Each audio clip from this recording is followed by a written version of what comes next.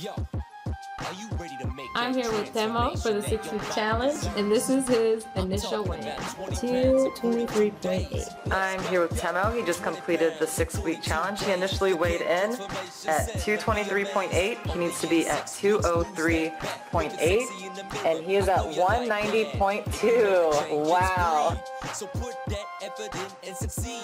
Put your money where your